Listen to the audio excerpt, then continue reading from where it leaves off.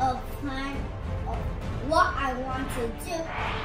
I will cover all the details and work until I'm through.